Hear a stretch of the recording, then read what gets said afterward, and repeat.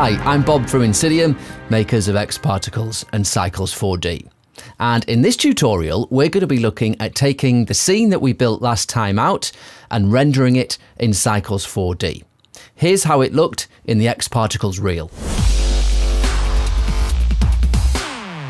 We'll be building our material from scratch and using some custom black and white noise textures to mix shaders together in a very interesting way. We're going to be using some of that colour data that we burnt into our cache to give us some interesting transitional effects. And then we'll finish up by using some depth of field and some motion blur. So let's get started.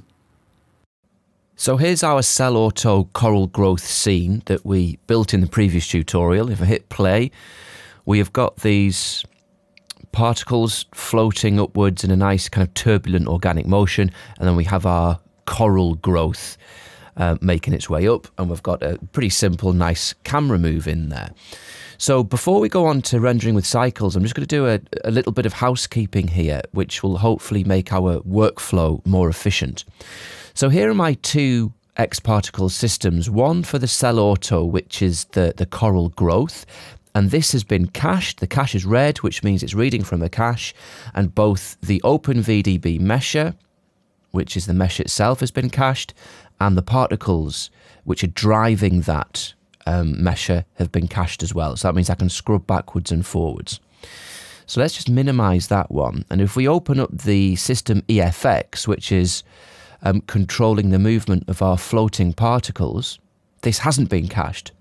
And that means that every time we're running this through, um, Cinema 4D is having to process all of this ExplosiaFX information to drive these particles. So what we're going to do is cache this system as well, so the computer's not having to waste resources doing that when, when it comes to rendering. Uh, but we don't actually have to cache the ExplosiaFX simulation, which, if I make it visible, and just come out of this camera, it's this explosion which is driving these particles upwards and that is advecting those black and white particles. But we don't need to cache this information because we don't really need it. We, we just need it to move these particles, and then we'll just cache the position and colour of those particles. So it'll be a much smaller cache file, and it'll read and play much more quickly. So to do that, we'll go to Other Objects, and we'll, in this pull-down menu, we'll select a cache object, and I'm going to tick only in same system, which means that it's only going to cache um, objects which it can cache within this EFX system. So it's not going to try and overwrite any of these ones that we've already cached. All right, so before we build that, I'm going to select internal memory, make sure that I've got compress cache on build selected, and then I'm going to go to this inclusion tab because I'm going to uncheck include EFX because I don't want to cache this object. We don't need that data once we've recorded where the particles are moving to. So that's going to keep this uh, light. Okay, so that'll do. So if we go back to the object tab, we can now uh, build cache. And this is going to cache quite quickly because all it's doing is recording the positional and the color values of these floaty particles and it's not caching all that EFX information. So that's done. And now the, the emitter has a red cache tag. The cache object is turned red, which means it's reading from the cache. So now what I can do, I can switch off that ExplosiaFX object. So it's no longer making any calculations. And now we have got a fully cached scene from the elements that we need cached. So that's going to work a lot better. The only other thing I'm going to do before we jump into uh, into Cycles 4D and start rendering is, um, if you remember, we have this camera move. And as we play the scene, the camera is animating upwards and it's rotating on the heading. And all of those uh, keyframes are being dictated by this null object, this cam controller. The camera itself isn't animated, but because it's a child of this null, which is, it's moving with it. But if, if I dollied in with this camera active, it's going to mess up the position of it. So what we're going to do is add a Cinema 4D protection tag, which is just going to mean that we can't accidentally adjust this camera by mistake, and we'll we'll have this move that we've pre-recorded uh, saved. So just go to tags, Cinema 4D tags, and we're looking for the uh, protection tag. And now, even if I try and move that camera with the one, two, and three shortcuts for, for dollying and orbiting, it won't work because of this protection. All right, and that means that our camera move is safe and we're not going to accidentally mess it up. Okay, so now we're ready to go into Cycles 4D and start rendering this. So what I'm going to do is I'm going to change my layout uh, into a screen layout that is going to be better for demonstrating cycles. So I'm just going to go to, uh, go to this saved layout here, uh, Cycles 4D, and I'll just explain exactly what we have here. So my object manager looks exactly the same. It's the same object manager. It's just been moved down to this corner. Uh, my viewport is very, very small. Let me just come out of that camera. I've got it docked here. So here's my viewport of the scene. If I press play, it's happening. But I don't need a huge viewport um, in this view because I'm more interested in the cycles real-time preview. So I have that viewport so I can still navigate it, but it's made very small down here. And then the major part of the layout is I've got the cycles real-time preview window here where we're going to see the renders. And I've got my material node editor here where we're going to build our materials. So at the moment, if I press play on the real-time preview, we have a black screen. And that's because there are no lights in this scene, so Cycles can't see any of these objects that we've put in. So the very first thing we're going to do is, is bring in a Cycles 4D environment, which is a little bit like a Cinema 4D uh, sky object. So let's go to Cycles 4D and we'll go to Environment. When the environment has been put into our object manager, it has an environment texture tag attached to it. The texture tag has been created here. And if I click on it, we can see the nodes of how this texture tag has been set up. And in our real-time preview, um, this environment object is now lighting our mesh. And we can see it. Okay. So at the moment, the background, it, it's only, it's the, the, the material is just one node. It's this background uh, shader. That's it. And it has two controls, a strength and a color. Now, there's one little tip here. Um, if you uh, want to change the color of this, you can double click on this box and then change the color, but it will only update once you hit OK. Press OK, and then everything is blue in this environment. And that's fine, it works, but it's not very efficient. So a better way of adjusting the color is if you have the node highlighted its settings then appear in the normal attribute manager. And if we pull this color down, we can now make live adjustments and those adjustments will update immediately. So it's a much more efficient way of, of, of picking colours effectively. Okay, good. So we're not actually going to use a colour from this palette. We're going to input a colour. Now, I want this to look like a, a, realistic sky, a bit like a physical sky in, in Cinema 4D rendering. So what we need to do is bring in another node, which is going to feed in that information. So the way we do it is right-click in here, and we're going to go to uh, Texture, and there is a sky texture. So let's bring that in. Now in Cycles 4D, even if this node isn't attached to anything, if you click on the output, it gives you a preview of what that uh, node will look like in the viewport. So now you can see that this sky texture has brought in this kind of ground plane, and then we've got this sky in the background. And now this is lighting it, and our object looks very different. So I won't go through this massively, but basically turbidity is a bit like haze. So the more turbidity you have, it's kind of bringing in more kind of sun haze. The less turbidity, the sky will look bluer, and it's kind of you get a colder look. This brings in a warmer, um, a warmer flavour. Okay, so that looks all right. So what I'm going to do is pipe that into my colour input of the background node, and now that's all hooked up and that's working. Now, I want to use this background object to light the scene, but I don't want to see it. This isn't going to be part of our final render. So what we need to do is, is disable its visibility. So if we go to our environment object in the object manager and go to its attributes, what we can do, we have this ray visibility. And this is like a compositing tag in Cinema 4D. So if I uncheck camera, the camera cannot see the background object, but it is still being used to light um, the mesh and light the scene. So there we go. So if I made just made a few adjustments to this, you see the lighting is changing, but we're not seeing that background. Okay, so that'll do for now. I'm not going to get too hung up on the background. Right, so now what we need to do is we need to make our texture, our material for our coral. It's a hugely complex look, uh, the final render for this. There are kind of black shiny parts, there are gold leaf parts, there are the glowing blue parts as the coral um, grows, there are bits of bump, there's displacement, there's all sorts going on. But all of that is achieved with one material. And that is the beauty of this procedural node based material building.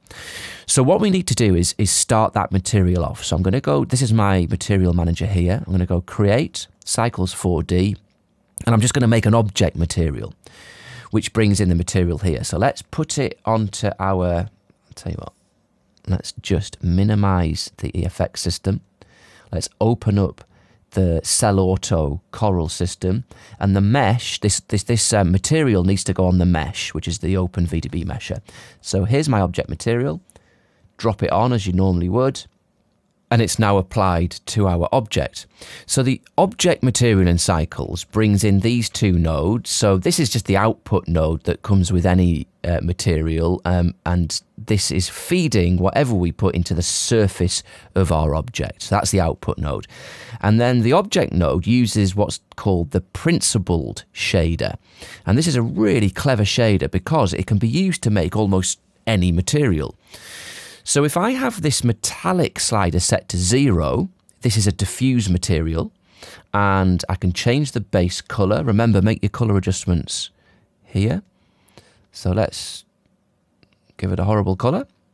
So we can change the base color, and if we increase the uh, roughness amount, then we're going to make it a fully diffused material with one. And if we bring that down, the specular starts to have an effect and it can look shiny. So that's a diffuse material. It can be a glass material. If you put transmission onto one, it becomes a glass material. Now, obviously, with glass, you wouldn't want any colour in the base colour. So then, if we, if we had objects to reflect and to refract in our scene, you would see this, and this would look like a transparent glass material. So it can do glass as well. Uh, it can do subsurface scattering looks um, using these. So if you wanted a kind of a translucent material that absorbs light and spreads and scatters that light, you know, like wax or uh, that kind of thing. Um, you can do subsurface scattering and also you can do metal. If we turn the metal slider to 100% to 1, it now becomes a metal object and you can play with roughness and get different metal effects. So it's hugely powerful. Um, you can apply a top coat with a gloss. You can colour the gloss differently. You can have uh, bump maps for the clear coat and a different bump map for the base material. Uh, and it's incredibly powerful. It's a brilliant node, but we're going to use it very basically. We want a metal material, so I'll leave the metal slider up on one. And we want it to be pretty dark. And I want a hint of blue in it so something a bit like that. So now if I come in a little bit, let's have a look. Okay, so I think we could be maybe be a bit lighter, a bit more blue. All right, and I think we could roughen it up a little bit and have it slightly less shiny. Okay, that's good. So this is our base material, and there's an awful lot of um, ports in here, and it's taking up a lot of real estate in our node editor, uh, and we don't need it now. We're finished with the adjustments on this one. So what I can do, if I right-click on it and put Hide Unused Sockets, it then becomes a much more manageable node. Brilliant. So that's our base coat. So just before I move on, if you can notice in our editor, we're getting these um, kind of blocky um, edges, and that's because our mesh in our object manager it's, it's it's not a very high poly mesh. We kept it low poly so it would it would animate quickly. So let's fix that. Without having to rebuild this mesh, making it more dense and then recache it. So what we'll do is we'll use a Cinema 4D subdivision surface to do that. So click on this button here, which brings in a subdivision surface to our scene. Let's drag it down into our generator submenu. And in the subdivision surface, by default, it's going to subdivide it two times in the preview window and three times on render, uh, which we, we, don't need that much detail. So let's just stick that to one. And we'll put our open VDB mesher inside the subdivision surface. And you can see now that it's much more heavily subdivided and we've smoothed out those horrible edges. Uh, but it should still play relatively quickly in the viewport. It's still using the X Particles cache, um, but now it's being smoothed out. It's not going to play as quickly because it's having to subdivide it and make those calculations, but we're still getting decent performance. Right, so this is our base texture now, and that's looking quite good. So what we want on the outside of this, we want to um, simulate a, a, a, kind of a thin film reflection, those beautifully separated colours that you get on things like you know bubbles and whatnot, and there is a way of uh, there's a fantastic shader uh, which was created by a really talented user in the Cycles 4D community. And he built a group um, to make realistic thin film shader, and it's you know it's it's about 50 of these nodes to, to create it, and it's brilliant, hugely powerful. Um, but we're just going to cheat it for this, and we're going to cheat it for a couple of reasons. One, because it's, it's a really good trick. It's very fast to render because they're only going to use three nodes. And for this render, the subtleness of the of the thin film effect, um, it, it, this this cheaty way is going to work. It doesn't need to be photoreal. So the way we're going to do that, we're going to mix our base texture, which is this one, together with a highly reflective material. So let's build that highly reflective material. We'll go right click, shader, and we're going to bring in a glossy. So remember with cycles, if we want to see what just this one looks like, all we have to do is click the output node and there we get a preview. So it's a highly, highly shiny, glossy, metal-like surface. Okay, that's good. But we don't want it to be this colour. We want this glossy effect to have that thin film refracted kind of light look. So the way we're going to achieve that is we're going to use a noise to colour it. So we'll bring in the noise. So right click and we need to go to texture and we want to bring in a noise texture. So again, let's look at this. So in cycles, um, the noise has both the factor, the black and white values, but also it has color data as well, which is very useful. So this is what we're going to use to color our um, to color our very glossy shader. So if I just pipe that into the color, and now look at this one. So now you see, for free, without doing anything, we're getting this suggestion of something that looks like that thin film bubble look. There's a couple of things we have to do to adjust this to make it right. Now, at the moment, Cycles doesn't know how to map this noise texture onto our object, and we need to tell it. Now, this is the object is an open VDB mesher. It doesn't have any UV coordinates, so we can't use UV coordinates to tell this noise where to be mapped onto the surface, so we have to do something different. Thankfully, it's very easy. And a right click, and we're going to go to an input node, and we want a texture coordinate. And the texture coordinate comes in here. And these um, will tell the texture how to be mapped. So if I select UV, it's not working. We don't have proper UV coordinates, and so on this, and so this is this UV map is going to look dreadful if we try and map noise using this. It won't work. But what we can use is one of two. We can use generated, which are the coordinates generated by the object. Now the generated um, are very good, and they they give a good approximation of how this texture will be mapped on. But sometimes, if you use generated, it can stretch textures sometimes. Um, And we don't want our noise to be stretched, especially when this object is going through its growth period. If the textures start to stretch and move, it's going to shatter the illusion that it's part of that. So instead of using generated, which, which does a good job but can stretch and bend, we're going to use object, which is doing a very similar thing, but it's not stretching and bending it to fit. Um, so let's put that into the vector of the noise. And now if I hit this one, this is how it's mapped on. Let's just go to the color of the noise. Right, so I think we need this to be smaller. So if we increase the scale, we're going to get more noise patterns. And we could increase detail and, and, and, and faff around with this for ages, but that is going to look pretty decent straight away. And so it's kind of got a pretty decent look without doing much. So we have this and we have our base colour.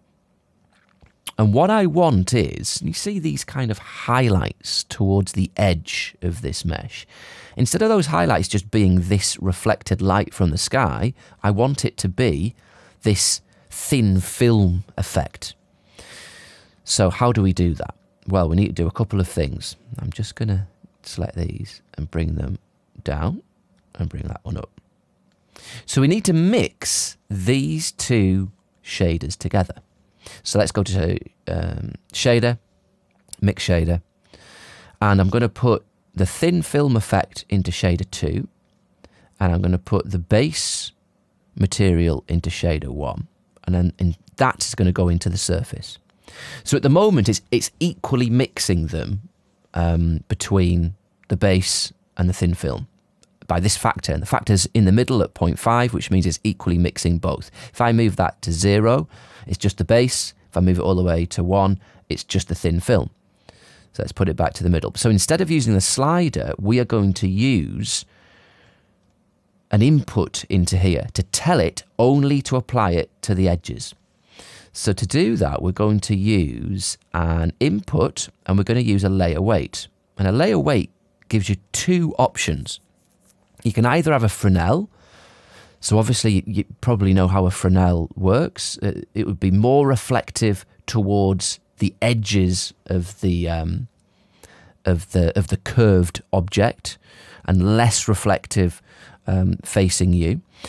Or we've got facing, which is slightly different. Now this is going to give us a better effect. So so what this is saying is where it's black, it's a, when it's 100% black, it will be this shader, our base material, and where it is white, it will be the thin film. So let's just pop that into our factor. Now look at our mix shader, and there we've got it. We have got, let's just dolly in a bit. So the, the parts that are facing us directly are the base texture, and then the, it's falling off to this pretend thin film. But it, it's a little bit harsh there's too much thin film. I want it closer to the edges. So let's just go back to this facing. So we need this to be more black and then fall off to white a bit more abruptly. So there's loads of different ways of doing that, but, but basically we, we need to add contrast to this black and white gradient. So the way we'll do it is in our colour, we can adjust the colour of this with any of these, which you might be used to using in Photoshop or After Effects. So we could do it with an RGB curves. So let's put the curves in. I'm going to put that into the colour. Take the factor out. So we're feeding the black and white from this into the colour. And now with the colour, if I add a contrast curve, it will darken the black areas. And we're getting more black now. So let's look at what that's done to the shader. And now that's pushed the thin film out just to those white bits. So that's using a, a, a, a curve. Let's just delete that. Another way of doing it, doing the same thing, adding contrast to that black and white map. We could go to color. Let's we could do it with a gamma adjustment. So let's put the color into the color and the color into the factor and increase the gamma. And we're doing a similar thing. We're kind of crushing it. And then if we look at this shader, we've pushed out the thin film to the very edges. And that will do for our base. So our base material is a, um, a black shiny reflective surface, a kind of fake thin film shiny reflective surface, which is only being applied to the very edges of the facing, which we've crushed with a gamma. And we're getting this very nice effect with not that many nodes. And it looks pretty cool. Very nice. Okay, so what we can do now is tidy up this node tree because this is just the start. This is the base. So what I'm going to do is I'm going to select all of those. I'm going to right click. I'm going to put um, group selected, which puts them into this group. And I'll just dolly in. And basically the group has all of has all of the nodes inside and we've um, we've we've we've stacked them into this one group, which makes it tidier.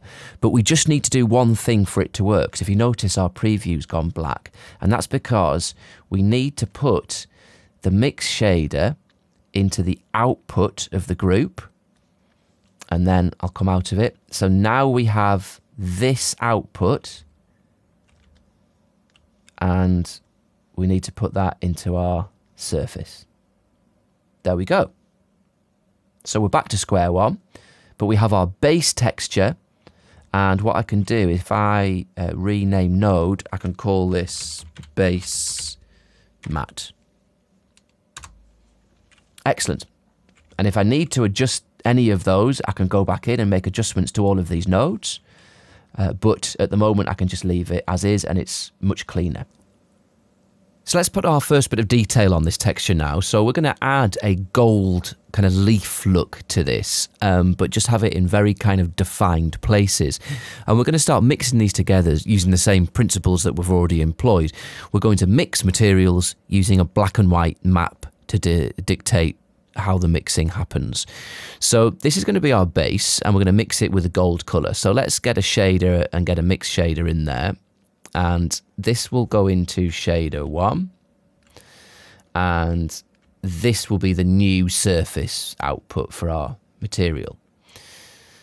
So we need to get a gold material, so let's build one with a principled shader. And here we'll want a gold colour. Put that into shader 2.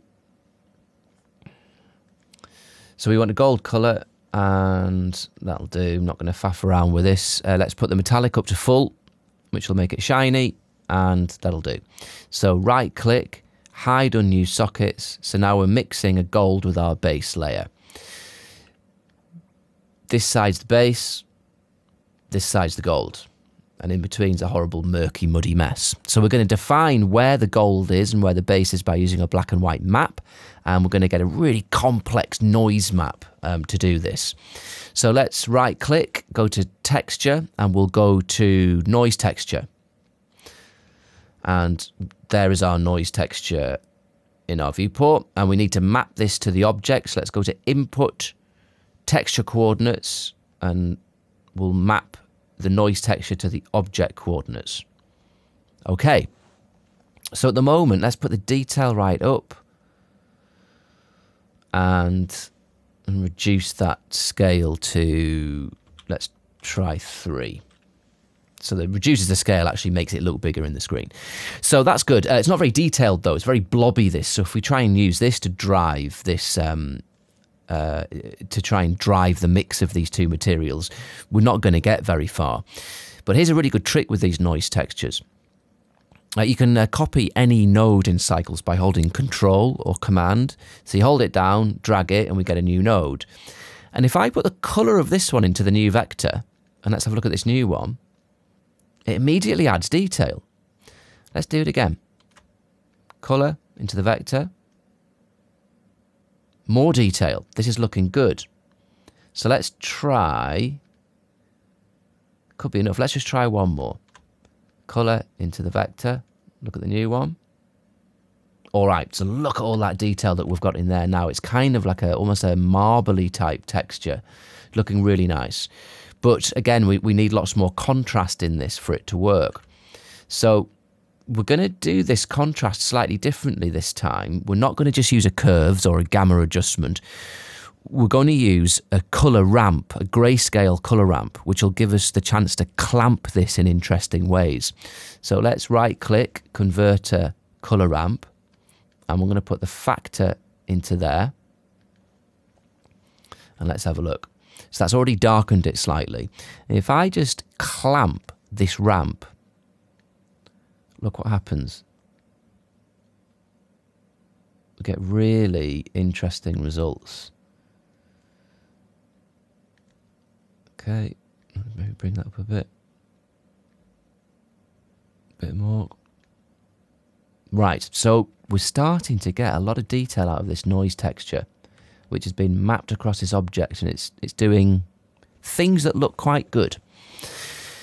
So let's just try that. We'll put that into our mix shader, into the factor. And how does this mix our two materials together? Ah, well, it's kind of working, isn't it? We've got areas that are gold, the white bits, and we've got areas which are showing through the base texture. All right, but it's it's a bit muddy, and we don't want as much gold as this, so we kind of want to we want to clamp this output further. So I'm just going to duplicate that, and let's feed that into our mix. Right, so let's have a look at our new one. So because we've kind of doubled this clamping process, it's had much more of an impact on this one. And now we can start seeing that we're getting really defined, sharp, detailed white highlights on this texture. This looks fantastic. So now when we look at the gold, it's, it's much better. This is going to look great. Now, at the moment, it looks fine. I like the shape, but it's, it's looking a bit boring. But later on, when we introduce some bump mapping to this, it's just going to immediately pop and look fantastic. But as it stands, I think that will do. So you don't want too much gold leaf. We just want little bits here and there. And I think we're getting it quite nicely. Let's have a look. This side is a little bit bare of them actually, so let's just try reducing the clamping of the second one a little to bring a bit more in. Yeah, so now we've got a bit more. And obviously just play around with this until you get a look that you're happy with. But for me, that's going to work. That's fine for me. Very nice. So we have our gold mix, which is excellent. So what else do we need to do with this? Well, this is the kind of the, the base material now has, has, has pretty much finished. What else is there to do?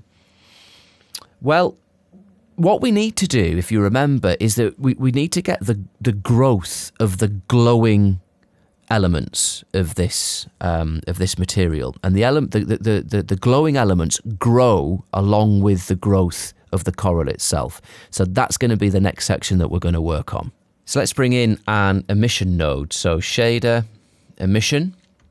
So this is for emitting light, obviously. Um, so if we put that on, we get this white uh, look. So we're going to colour it first. We want this nice blue colour. So we could just go to the emission tab and uh, colour it blue, and, and that would work. But what would be better which will give us different tonal values depending on how bright it is, is if we use a black body, which has it's just one node and it has a temperature value. So let's put the temperature value down a little bit. I'm going to feed that into my color, and now the emission node will be taking this color. But what we can do is we can shift the hue. So let's go to color HSV, stick that in, and let's just shift this hue until we get the kind of bluish colour that we want. Something like something like that, maybe. All right, so that's going to be our colour, and that'll that'll do us. So now what we can do is we can use another map, another black and white map to dictate the strength of this emission which will give us a really nice effect across our um, across our object. And what we're going to do, I'm actually going to, because we've got them, I'm going to reuse these nodes here. So I'm going to take, I'm going to steal and copy this ramp and I'm going to feed into it the colour from this noise that we've already used. So now I've got a new ramp. And what I'm going to do with that is I'm going to, I'm actually going to invert it to make it different. So let's right click and invert these knots. And now I've got a different, a very different map. Okay, good.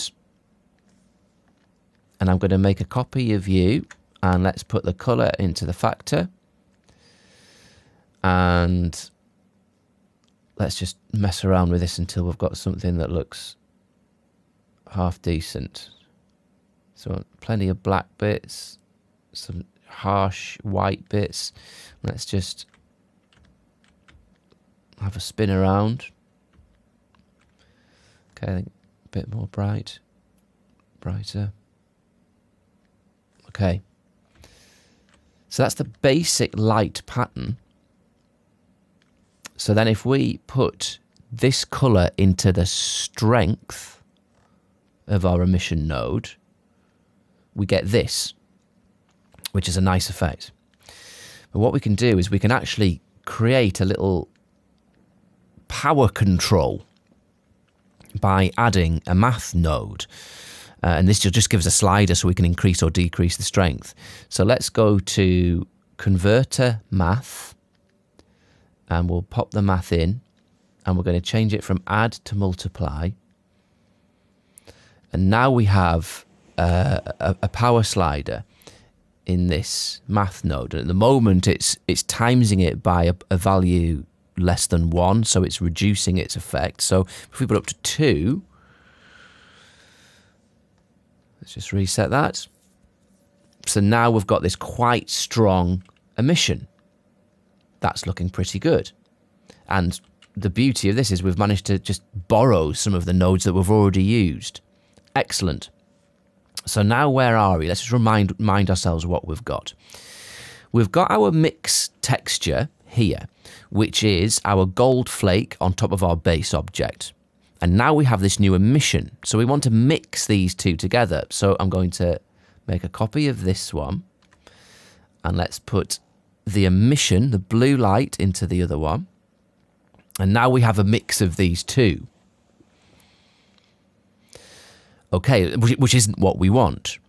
What we want to do is we want the light to grow on as the coral grows on and then gently fade off. So, how are we going to do that? Well, if you remember when we built this scene, let me just jump into my regular view. If you remember when we built this scene, um, we coloured the particles that were driving the OpenVDB mesher. So let me just make that invisible. So here are those particles, and we coloured them from black, from white, and then fade into black as they got older. So what we want to do is we want to get the white values from these particles and feed them somehow into a map in cycles which will give us that black and white map. So when it is white now, we'll see that nice blue emissive material. And as they go black, that'll fade away. So how do we do that? Let's go back to our cycles view. All right. So what we need to do, we're going to feed this new map based on those particle colors into the factor of this mix shader. So we need a couple of things. We need a node that's going to allow us to access that particle color information. And that node is in the textures and it is a point density texture. And what this is going to do, we are going to be able to kind of create a volume radius around each particle, inheriting the color of that particle and um, it'll create this black and white volume which will animate over time. So what we need to do with this point density texture, we need to tell it which object you're getting your information from. Uh, we've got this object box here and it, it's the emitter. So let's drag in this emitter and we need to tell it which particle, which bit of data do you want to get from that object. So we want to get the particle color, which is what we set. And if I hit color, at the moment this node isn't doing anything. What we need to do is a, a couple of things. Take off normalize and I'll do it here so it's more obvious. So we've taken off this normalize and we need to map it to world space and we need the interpolation to be cubic. Okay. And let's just move this on a little bit.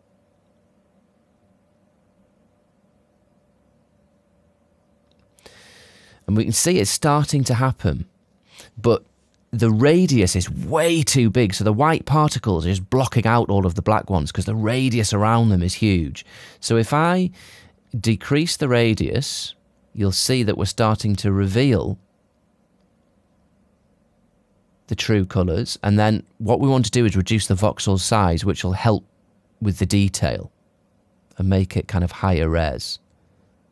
So I would say probably a voxel size, let's get it way down at 1.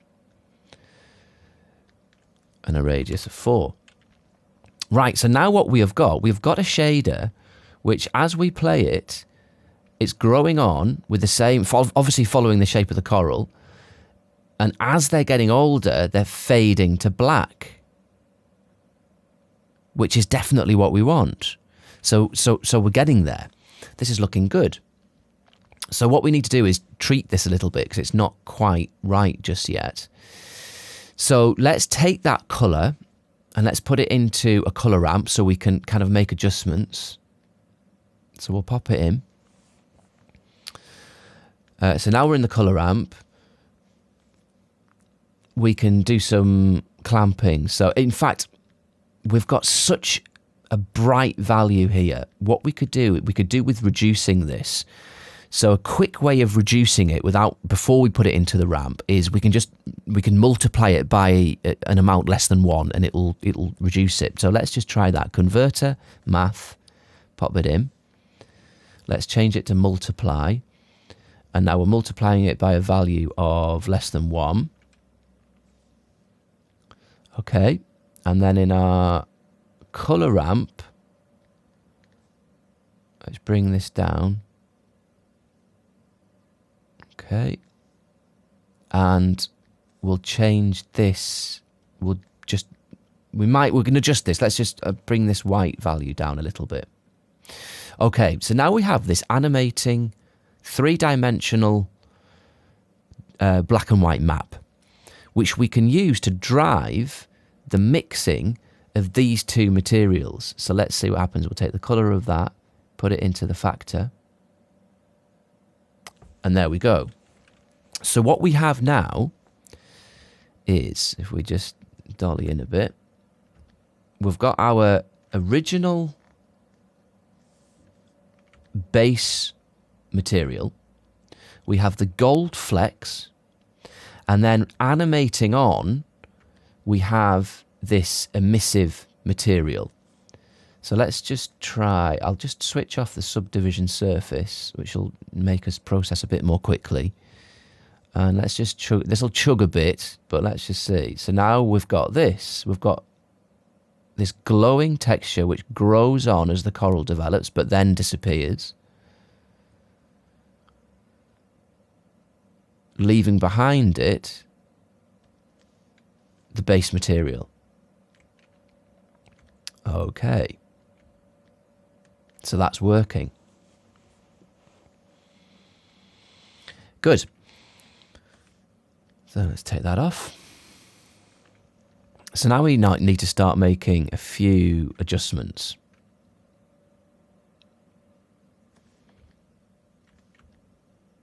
And we need to get some bump going on here. Um, so we just dolly in again. Um, this is looking very nice. Um, but it's all kind of flat, shiny surfaces. Um, and a bit of bump detailing is is really going to make the difference here and make this look fantastic. So how we do the bump is if I just zoom in on my node editor. So at the moment, our shader, which we've set up, is um, going into the surface of the output node. And we've got this displacement node uh, here, displacement port. So what we need to do is input a black and white texture into this displacement and it's going to create the displacement for us. Um, so let's just go into the material settings and we've got a material settings part and here there is a displacement method pull down and we can have bump, true or both. Now true means displacement rather than just bump mapping where actually the, the, polygons are being displaced and moved, whereas bump is just the illusion of displacement. Um, now, true displacement only works if in your render settings, I've got my render settings docked up here, if in your render settings you have in your Cycles 4D settings, you need to have, um, let's move up, you need to have features experimental selected. Otherwise, that displacement won't work. Um, it'll just it'll just uh, resort back to doing just normal bump mapping. But for us, that is what we are going to be doing. We're going to be do doing bump mapping, so we'll just keep it on bump. So what we need is a black and white map. Now we could make a new one out of the noises in a similar way in which we made the previous, but we've already made one, so we could probably reuse one of these maps that we've already made.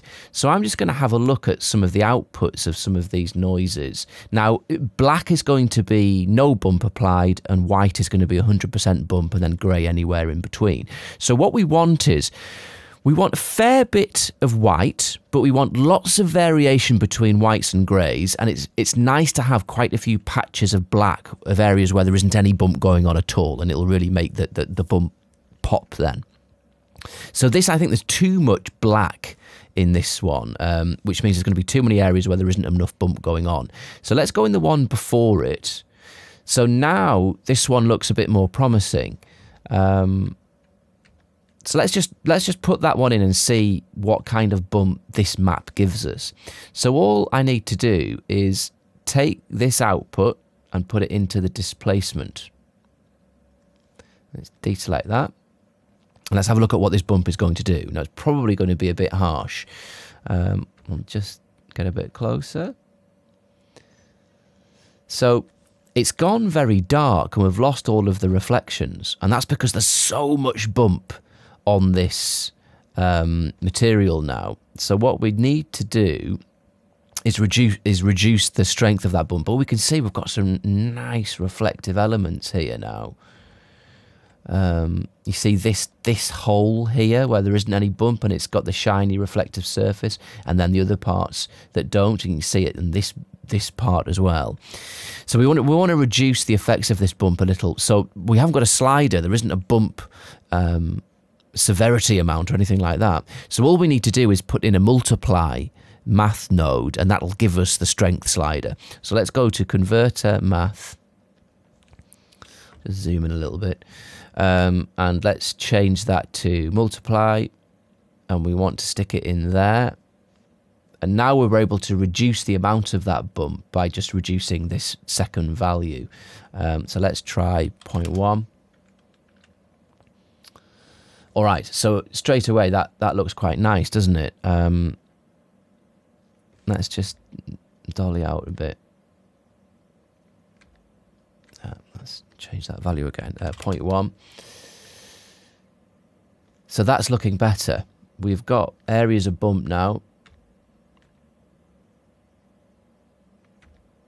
And if we go to the gold sections, you'll be able to see that we're getting so much nice detail in this bump. It looks really really cool. And then we've got these areas where there isn't any bump happening, and that is the uh, the black areas have got no bump. So that's looking really good. And that just it, it's amazing the, the difference that that bump uh, makes to the overall look. Okay, good. So at the moment, this scene is only being lit by our environment object, which is being hidden from the camera at the moment, but that's our environment object. And that's our only light source. Um, and what that's doing is it's giving us this nice edge lightness around here, which looks which looks good. But we could do with with bringing some lights in, some additional lights in, to help light the front parts of this object. So what we can do, what I'll do is I'll um, let's jump back into the uh, regular layout while we position our lights, and then I can go back into um, to the cycles one when we start looking at the render and how it's looking. So here we are back in our scene, and let's just dolly out. So let's make my mesh visible. And I'll just scrub through to about here. Right, so this is our scene, and our camera is at this angle, and we need some lighting, perhaps it from this direction, and also perhaps from behind to help kind of illuminate the edges somewhat. So let's do that. So we'll go to the cycles menu and we'll go to a cycles light. And this light, let's make it an area light.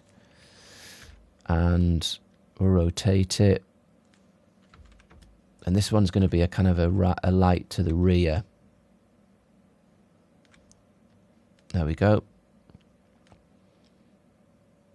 All right, that looks good. So let's just see what, if any, difference that is going to make to our render. So we'll jump back to our cycles view.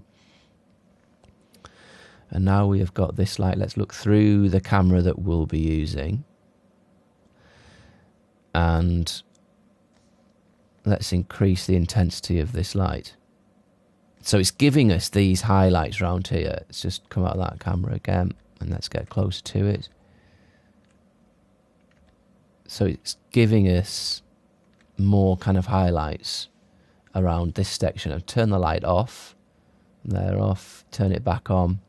So that's looking quite good. I like that. Um,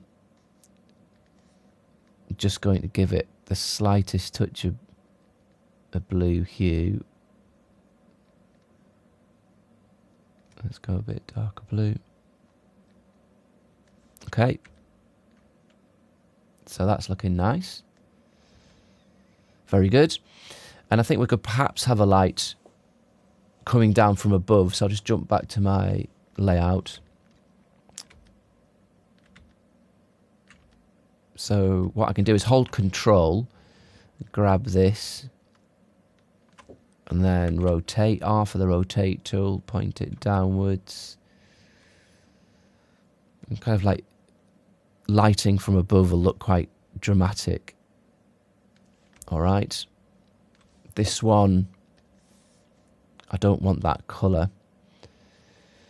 I'm gonna just give it try it with a warmer colour and just see. Right, so let's go back to our Cycles 4D view. Let's dolly right in and see what this light gives us. So this light is is bringing some really nice reflections onto the onto the gold. And that's shadowing it a little bit more and, and just giving us way more detail. So we go back to my camera view and now this is starting to look like the effect that we're after. This is this is looking decent.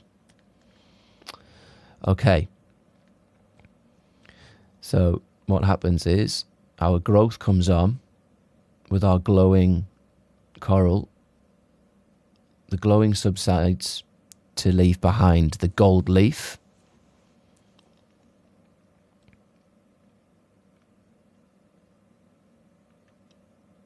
And this would be one render where we're kind of far out following the glow growth. And then I guess a different render, a different shot, would be much more of a close up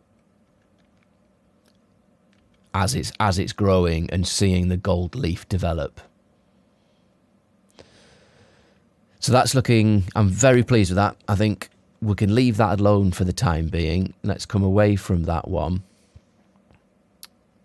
And I'm going to call that coral material finished. We might do some tweaking a bit later, but that is going to be called finished.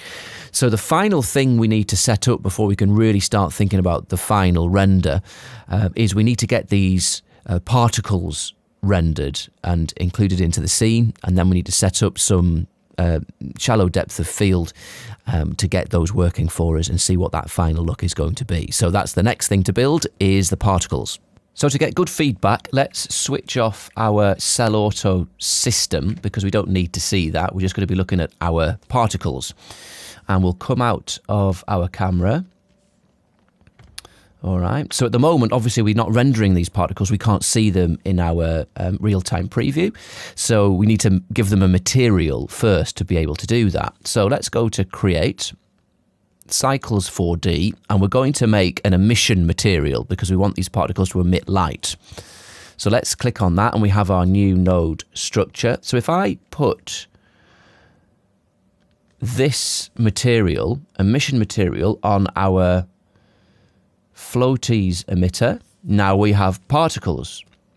Not what we want yet, but they are rendering. And there we go. They're coming into the viewport. There we go. So we have a start. So by default, Cycles 4D creates sphere instances for every particle. And without the correct tag, we've got no control over what these are like. But if we put an X particles instance tag on this emitter, we can then control exactly what it is instancing and, and how that's set up.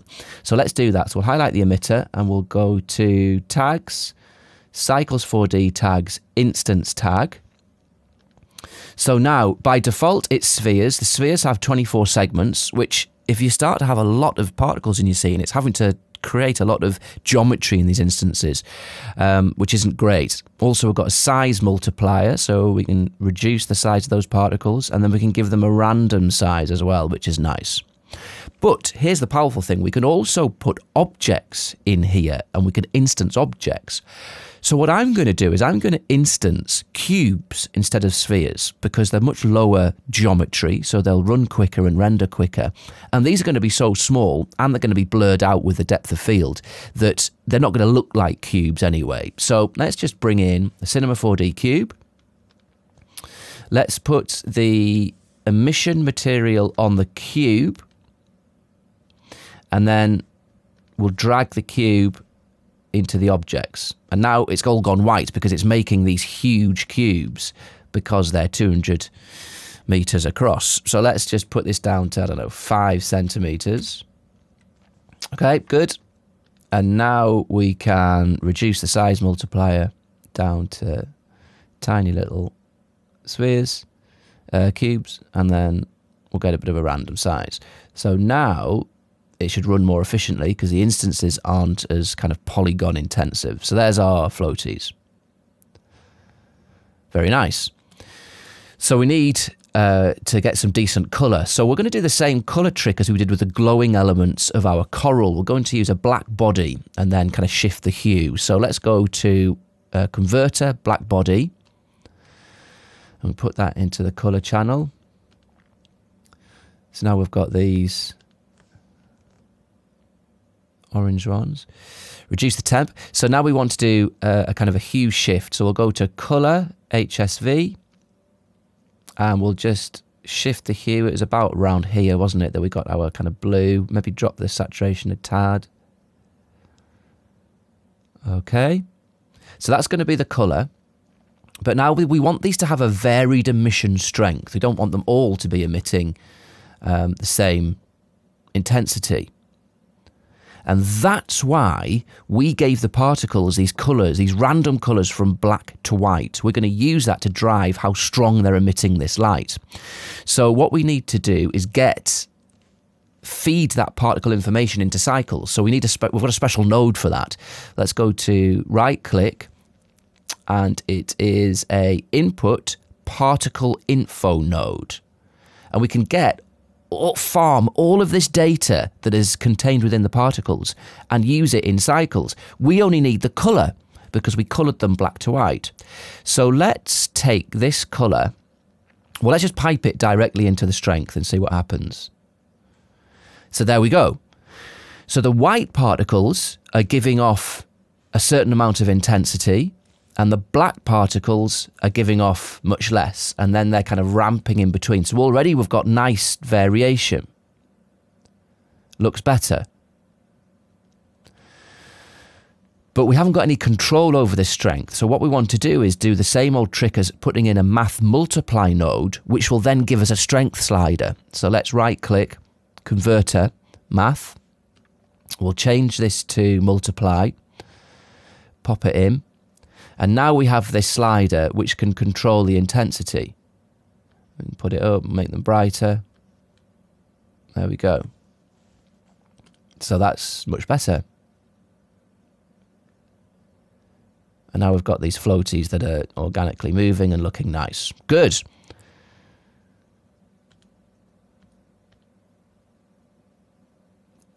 So depending on your scene, depending on your camera and its setup and the the, the level of, of de uh, depth of field blur, you may want to put spheres in and not have this very kind of cubic look. But if you can get away with cubes, much better because it's it's much lighter to um, to process. So let's go back into our um, camera. So we'll go back into our camera from which we'll be rendering. Let's switch back on the um, the coral system, and we'll get a better idea of how these look. So there they're going, they're floating around, and as we're moving up, they're kind of doing their thing and looking very nice.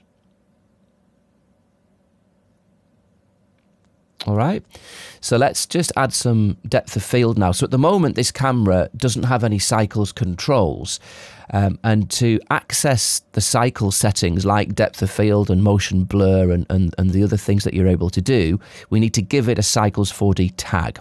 So we'll go to tags, Cycles 4D tags, and a camera tag. And this camera tag then unlocks these Cycles 4D settings with um, depth of field, motion blur parameters, and also some post effects like vignetting and, and bloom and glare.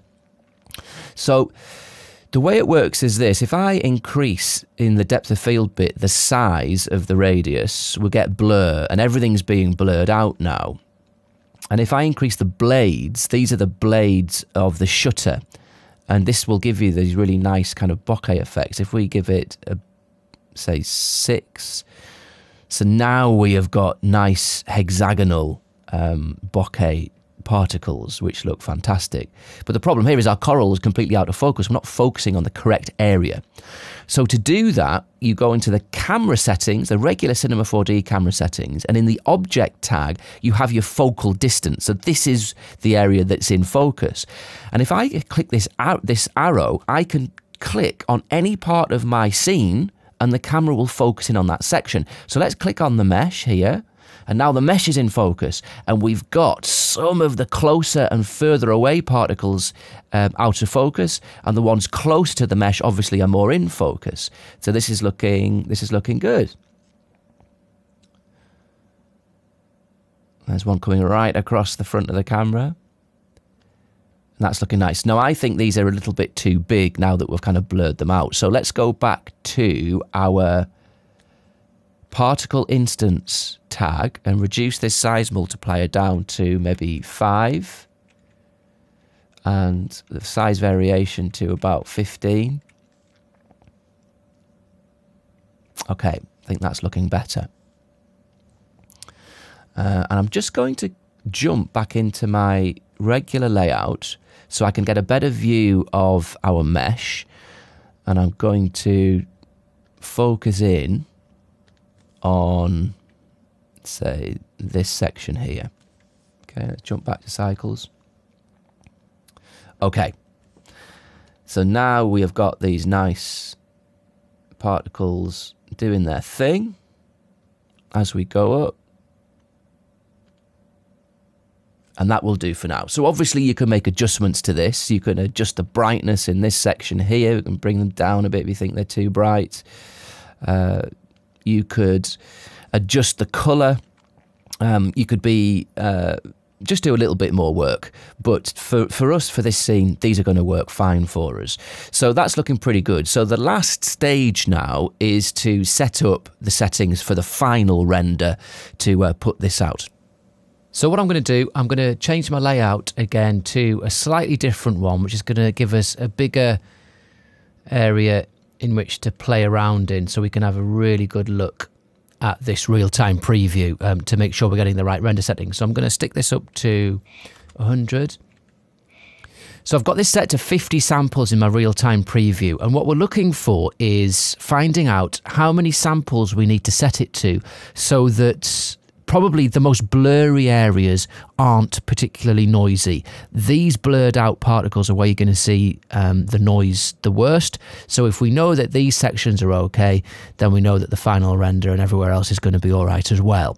Now, we've got this set to 50 samples and it's it's chugging through. And it's got an awful long way to go, and already it's not even halfway there yet. And I can see that this is is pretty clean, and a little bit of noise in these blurred out areas is actually quite good. It makes it look like a realistic kind of film look. So 50 samples is far too much for what we need. I think we can get away with having um, fewer. So let's just put this down to say 25, which is half that amount. So this will take more than uh, it'll be more than twice as quick because the samples are kind of exponential. Um, they're, they're, they are the sample amount times by, I think it's times by four even. So 25 samples is hugely quicker than 50, more than twice as quick. So there we go. And uh, we can see there's a, a, little bit of noise in this blurred out area. I'm not sure if you can see it on this screencast, but there's not so much that it looks awful. So 25 samples is a good amount, I think. And there's a chance, you know, we could we could even go with less than that and have a quicker render. But um, this is going to be the final render, so let's not skimp on it. We'll go with 25. Good. So the only other thing that we want to um, sort out with this in the render is... Um, Let's go into our render settings here and set up cycles as being our renderer. So in your renderer, you want to pick cycles to be the render, renderer you're going to use. Um, and let's change in our output. Let's make this full 1080p. And we're going to render frames 10 to 300. Good and then save. We have got OpenEXR as our format. That is a 32-bit file format. So we're going to have all of this 32-bit light and color information that our real-time preview is um, displaying is going to be matched in our render settings. So that's going to be good. No surprises there. Then in our cycles options, let's just make this a little bit bigger. We need to set this up. So the device, I want to use my CUDA um, cards. I've got two 1080 Ti's, so that's going to be relatively quick for me. So set that to CUDA. I can leave my tiles as default. I can leave that as default, threads as default. In my integrator sampling, this is where I need to match my samples. So I decided that 25 was okay in my real-time preview. So if I stick 25 here, I'm going to get the same look and we're not going to be using the denoising feature in this render. And so if you're not using denoising, always remember to have a seed value here of zero. And this means that um, your noise from frame to frame, any noise that is created in the render, will be animated noise, which is what you get when you record properly with film. The noise is never static, it's always fuzzy and animating. And having a seed of zero means that um, there isn't a fixed noise for each frame, it'll change on a per frame basis, meaning it'll look more realistic, any noise that's there. So if you're not using denoising, make sure you got the seed to zero. So that's it for that. Let's get down to our light paths and ray depth. I'll just switch all these down so they're outside. Okay, so light paths and ray depth. So at the moment, we've got a glossy depth of two. So glossy is our reflections, and we've got lots of reflections in this scene, so we're going to need that. We've got diffuse as well. So I'm going to say that we need at least uh, we need at least two. So let's go with we won't get a glossy depth of two or a diffuse depth of 2 unless our max ray bounces is at least 2. Otherwise, it, it can't get to this amount. So let's just, we're going to put this at 4 just to be safe. Um, and I think that's going to do us for that. So the only other thing we want to activate is we want to render some motion blur. And the reason we want motion blur is some of our floaties are actually moving relatively quickly. And we want to give that, um, they will, it'll look a bit odd if they are particularly crisp and moving quickly, because obviously if they were shot with a real camera and it was kind of dust particles or whatever, they would have motion blur to them. So we need to add that.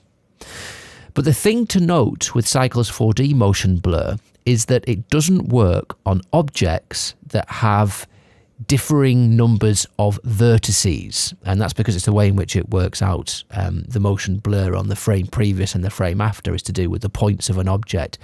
Now, our um, OpenVDB mesher is a dynamic mesh. It's growing on and it's creating new polygons as and when it needs it.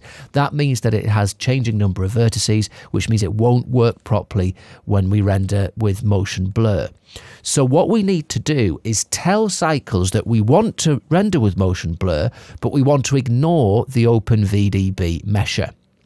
So the way in which we do that is pretty simple. So we'll activate motion blur, but we're going to deselect affect all objects. So let's untick that.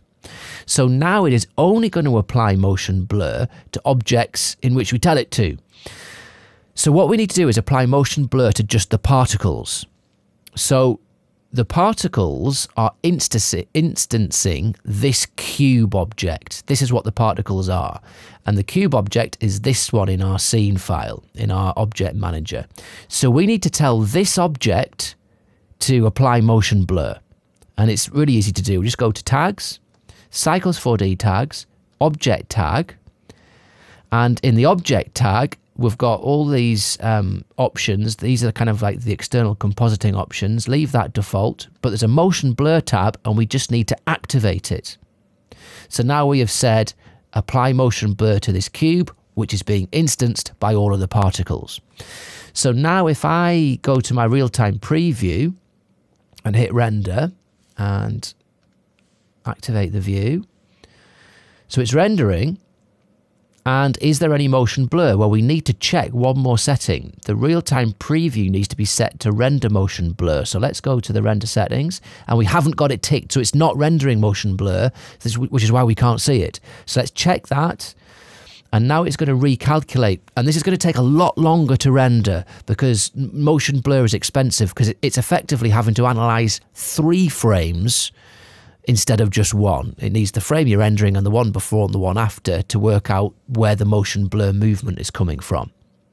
Okay, so we've got a little bit of motion blur there, but perhaps not quite enough. So let's go to our camera settings, which is where we can set up the motion blur.